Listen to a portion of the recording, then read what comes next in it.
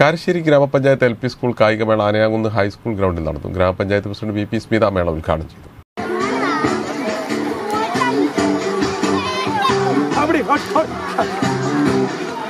ഓടിക്കോ, ഓടിക്കോ, ഓടിക്കോ, ഓടിക്കോ, ഓടിക്കോ.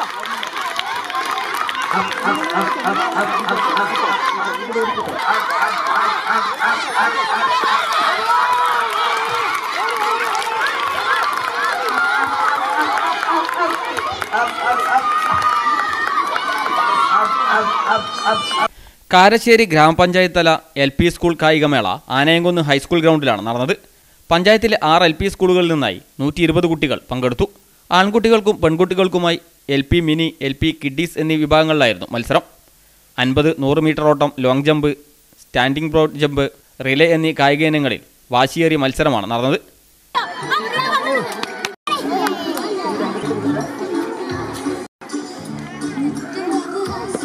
കായികമേളയിൽ മത്സരാർത്ഥികളെ അണിനിരത്തിക്കൊണ്ടുള്ള മാർച്ച് പാസ്റ്റും നടത്തി.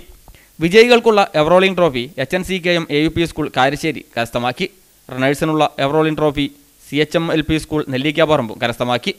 വ്യക്തിഗത ചാമ്പ്യനായി എൽ പി മിനി ബോയ്സിൽ ആസിം അയാനും മിനി ഗേൾസിൽ ഫാത്തിമ റിസ്വയും കരസ്ഥമാക്കി. കിഡീസ് ബോയ്സിൽ മുഹമ്മദ് റിയാൻ മുഹമ്മദ് മിൻഹാജ് ഗേൾസിൽ ഷരീഹ തസ്നീം പി പി എന്നിവരെയും തെരഞ്ഞെടുത്തു.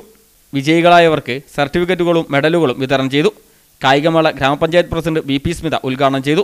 വൈസ് പ്രസിഡന്റ് ജംഷിദ് ഒളകര സ്ഥിരം സമിതി അധ്യക്ഷരായ സത്യൻ മുണ്ടയിൽ ശാന്താദേവി മൂത്തടത്ത് ജിജിത സുരേഷ് ഗ്രാമപഞ്ചായത്ത് അംഗങ്ങളായ Kunjali Mambat Amina ഇടത്തിൽ പ്രധാനാധ്യാപകരായ Ajmal Janis Razak Treesa E P Lekha Bobby B R C കായികാധ്യാപകൻ Sathyan Suresh Kumar തുടങ്ങിയവർ പങ്കെടുത്തു.